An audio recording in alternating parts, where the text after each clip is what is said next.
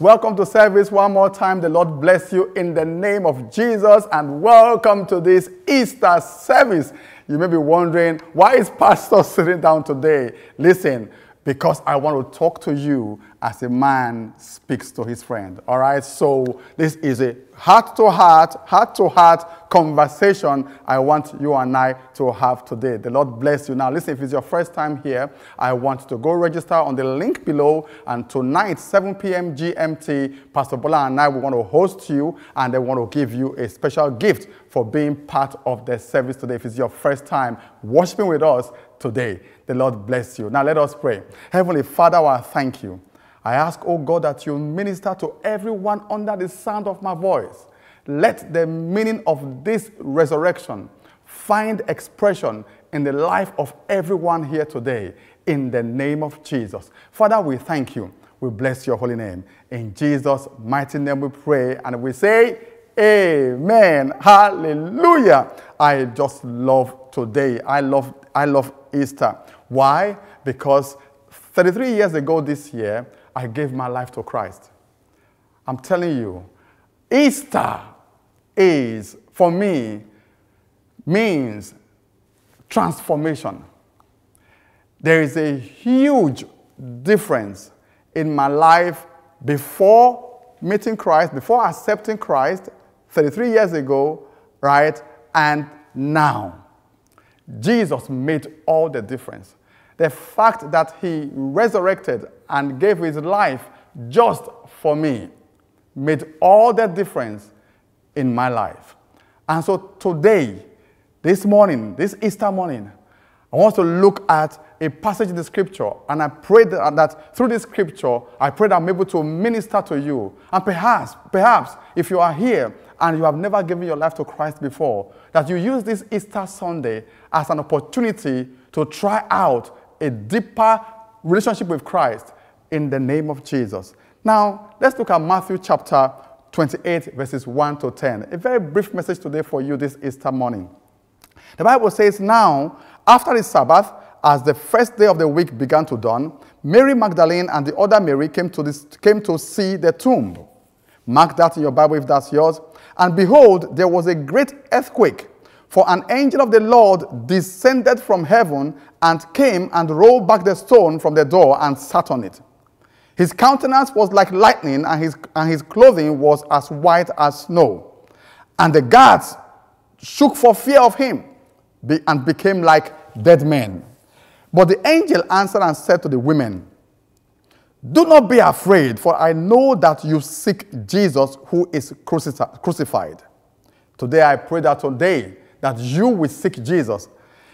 Verse 6 says, He is not here, for he is risen as he said, Come, see, see the place where the Lord lay, and go quickly and tell his disciples that he is risen from the dead. And indeed, he is going before you into Galilee. There you will see him. Behold, I have told you.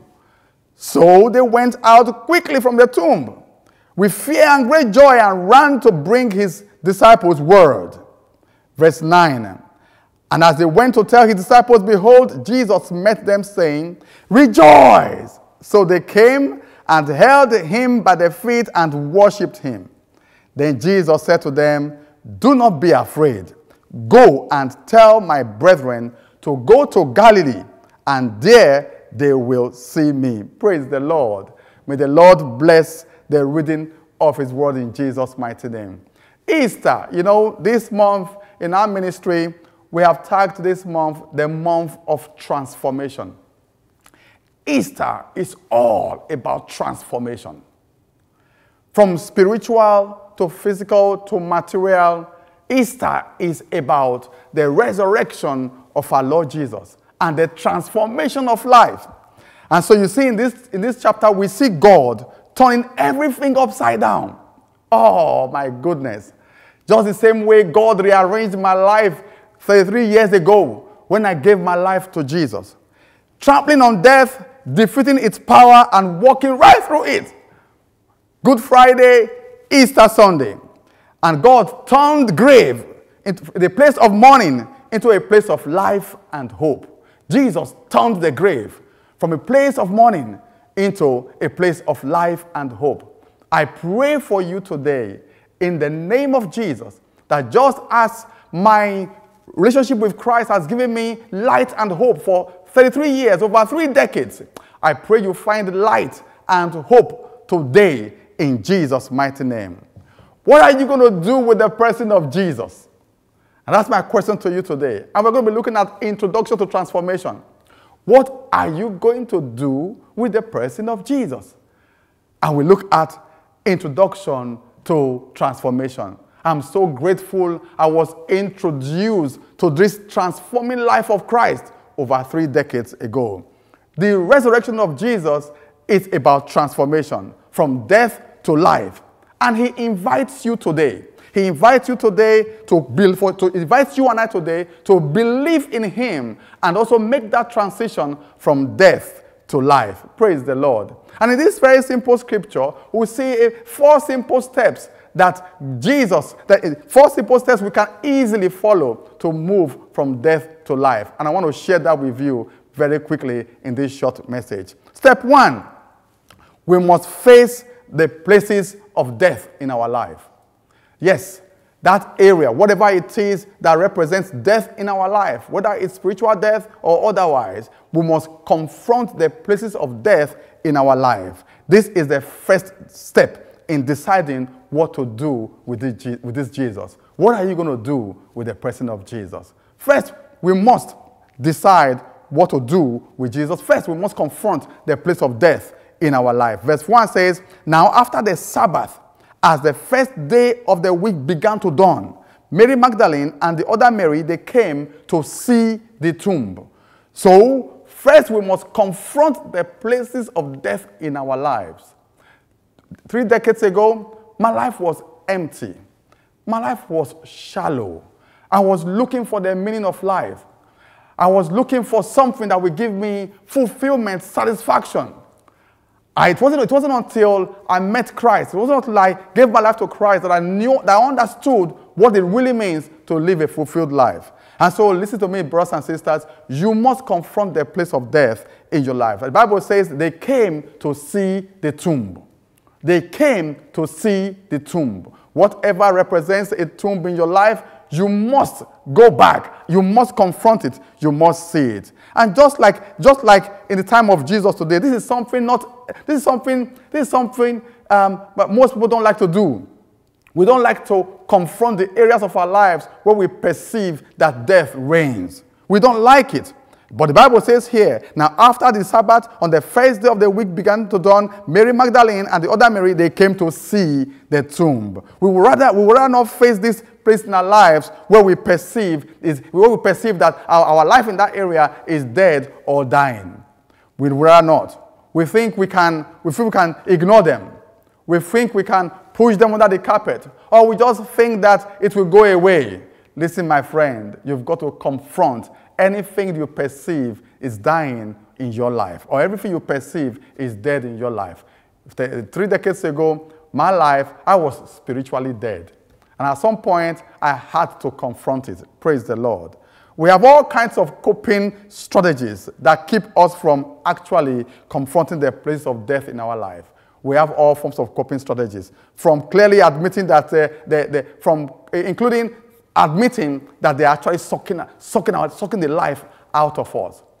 If there's any area of your life that you consider as dead or dying, today I speak life to it in the mighty name of Jesus. And perhaps this is one of the main reasons why, as Christians, we do not live the life we ought to live, the fulfillment of life we ought to live as believers, because we just don't like to confront those places in our life that we perceive as, as dying. I know that today is Resurrection Sunday.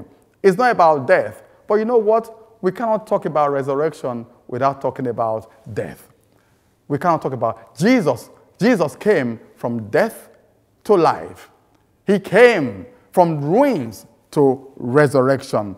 The resurrection life also comes after death. So we've got to. There's no shortcut to these things. There's no shortcut. There's no quick fix. There's no bypass route. You and I, we've got to confront the dying areas of our lives. Going to look inwards today. I want to encourage you to use this service to look at your life where you are now. Where are you going to? Why are you here? Are you happy? Are you fulfilled? Is, are you living the will of God for your life? Is this the perfect will of God for you? Where you are right now, is this the desire of heaven for you? I want you to look inward and confront those things. Praise the Lord. I am talk, I'm talking about sin, for example. I'm talking about spiritual death, rebellion against God. If you are here today and you have never given your life to Christ, I want to use this service as an opportunity to reconsider your spiritual health. I'm talking about spiritual death, rebellion against God. I'm talking about character death, where you are not what you say you are. Are you who you say you are? Are you who you say you are? What exactly are you when no one is watching? So I'm talking about character death. I'm talking about emotional death where you have no compassion for lost souls, you have no compassion from anything, for anything other than the things that you are interested in. I used to be like that over three decades ago. And so we're talking about emotional death, where it's all about you. It's all about what you want, what you want to get. You are not concerned about what happens to people around you. And so, and so we talk about emotional death here. I'm talking about financial death where all you earn is yours to keep. Where all you earn is yours to keep. You know, you don't care about people around you. You don't care about life. You don't care. You know, you are so driven by ambition, driven by, by your goals, driven by your desires, all right, for material prosperity. And we're talking about marital death as well, where the spark and the fire in your marriage has gone out. Listen to me. We have to we have to confront those things that are dead or dying in our life. Praise the Lord. I'm talking about carnal lifestyle, where your body and emotions rule and dominate your spirit, resulting in feeding bad habits. Carnal lifestyle. The places in our lives where we continue to feel sinful desires, activities, and laziness that keep us distant from God. We must confront them. That's the first step. And the Bible says, very early in the morning, they went at the first opportunity. They went at the first opportunity to the tomb. They went at the first opportunity. Today is a great opportunity for you to come to the tomb of Jesus. Today is a great opportunity for you to reflect and look at the dying areas of your life and confront them. The passage shows, shows us a very different way. Praise the Lord. These women, as soon as possible, they got up in the morning and they went straight to the tomb. They didn't care about the guards. No. They didn't care. Praise the Lord. And we should be like that. We should be like that. We should confront the dying areas of our lives quickly and early. If you do not confront them quickly or confront them early, it will only catch up with you on the long run. And we should do that. We need to go there. What are you struggling with? You need to go there. You need to go there. What are you dealing with? We need to go there. The moment we recognize that something in our life is not the way God intends it to be, we should confront it. We should address it. The very first moment we feel that something is wrong, the first moment you feel that pain, my brother and my sister, you need to confront it. You need to. Praise the Lord. Step number two let God deal with the barriers. Let God deal with the barriers. Step number one, you address it. You go to that place, you address the things that are dying in your life. Number two, you let God deal with the barriers. We read in verse 2. Verse 2 says, And behold, there was a great earthquake, for an angel of the Lord descended from the heaven and came and rolled back the stone from the door and sat on it. His countenance was like lightning, and his clothing as white as snow. And the guards shook for the fear of him and became like dead men. Praise the Lord. It's very interesting. I took the liberty to, to read Mark's account of this particular uh, verse. Mark 63 says, On the way, they were asking each other, Who will roll away the stone for us from the entrance to the tomb? I just love these women. I just love these women. They did not stop, they did not allow the possibility or the, the, uh, the, the, the fear of the stone or the possibility of being unable to roll away the stone to stop them from going to the tomb. No, they did not. In fact, they were already on their way to the tomb before they asked themselves this question. Now, listen very carefully. There's something, there's something critical here that we must learn.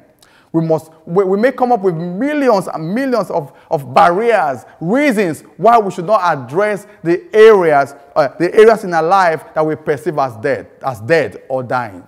We may come up with many excuses why we should not confront that behavior, why we should not confront our, the state of our spiritual life, why we, should not com- why we should not confront our attitude. We may come up with all manner of excuses.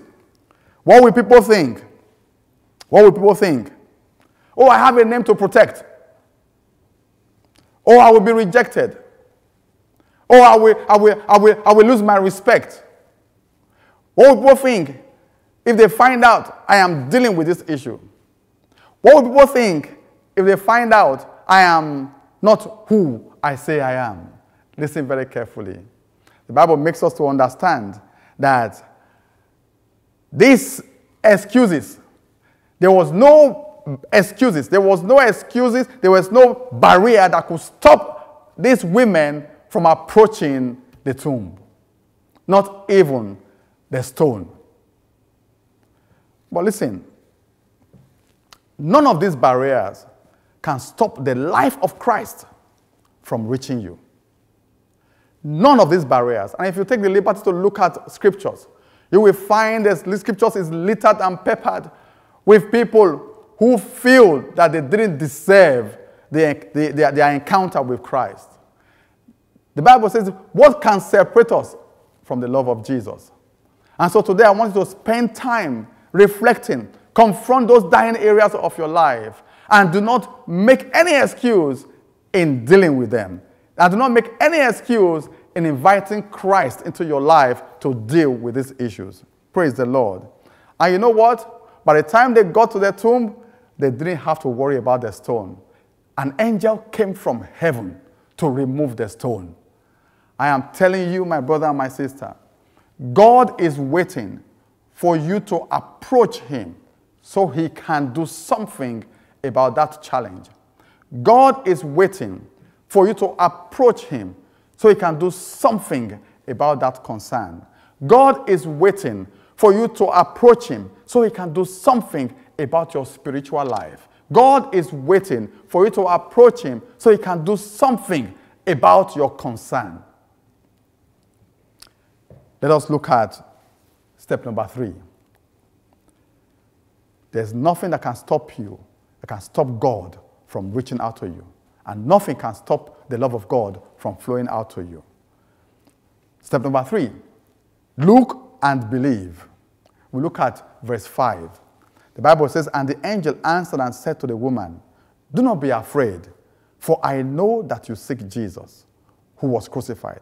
He is not here, for he has, for he, for he has risen. He is not here, for he has risen. As he said, Come and see the place where the Lord lay. The women were not told to just take the angel's word for it.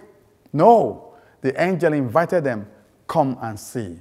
Number one, my brother, my sister, you've got to confront that dying area of your life. Whether it is spiritual, whatever it is, you've got to confront it. Habits, you've got to confront them. Number two, you've got to confront them and confront them early. You've got to come to Jesus and do not worry about the stone. Allow God take care of the barrier. There's no excuse on earth not to accept Christ as your personal Lord and Savior. And number three here, the angel said, Listen, come and see. The point here is that our faith must never be secondhand. Our faith must never be second one, must never be second hand. each of us on our journey to, on our journey to life, in our responsibility to decide for ourselves what to do with Jesus, receive the same invitation come and look. I received that same invitation over uh, 30 years ago. Come and look. And I tell you, my life has never been the same since then. July 4th, 1988, 6 p.m., I received Jesus as my personal Lord and Savior. From then on, my life has never been the same since then. I offer you this same invitation today. Come and see. Do not take second-hand information. Come and see. Our faith must not be based on second-hand information. Come and see. Praise the Lord. Come and look. Dive into the story. Ask questions. Search for answers. Come and see.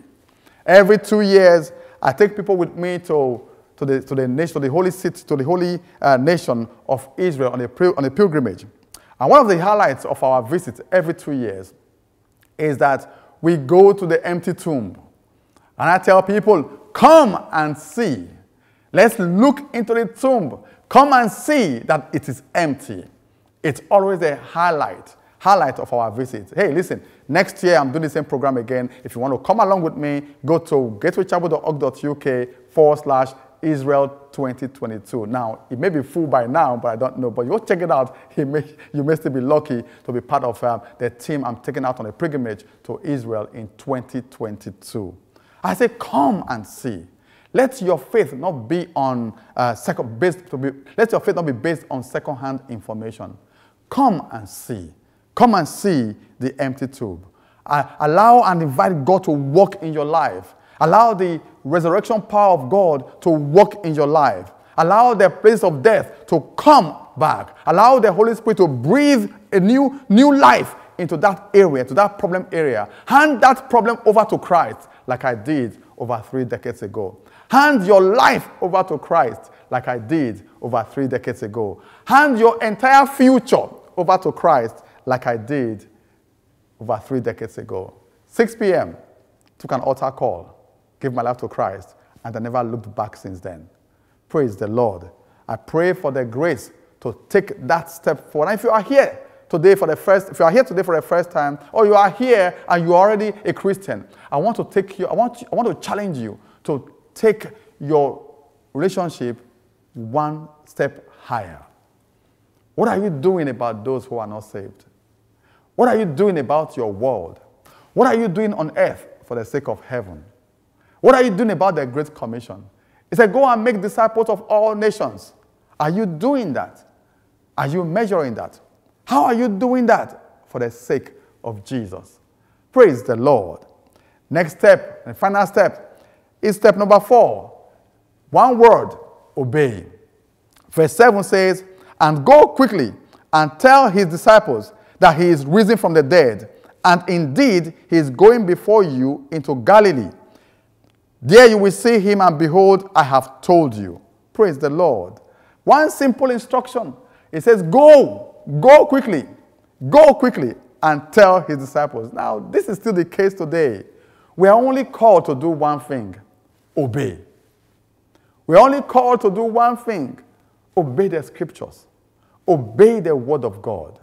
If you are here and you are a Christian, are you obeying the word of God to the full? Are you maximizing your relationship with Jesus Christ? And if you are here and you are not a Christian, I want to invite you to take a look. Join us. Join this dynamic faith. Praise the Lord. Now, here is the misconception.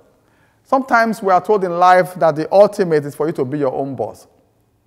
We are told that you should, uh, we are told that you can live your life to call the shots. Take care of number one. Be the head at all costs.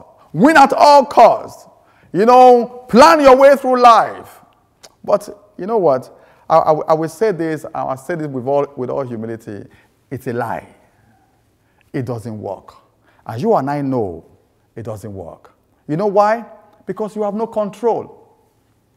You don't have control over what's going to happen next. You have no control what's around the corner.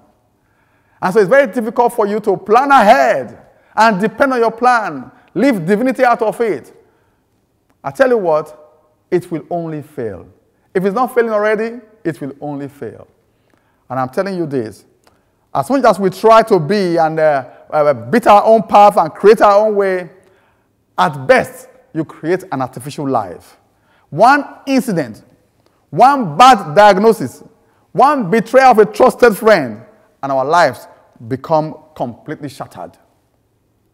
You need Jesus. He resurrected just for you. I want to look at the dying areas of your life from spiritual to material to financial to your marriage to your, your entire lifestyle.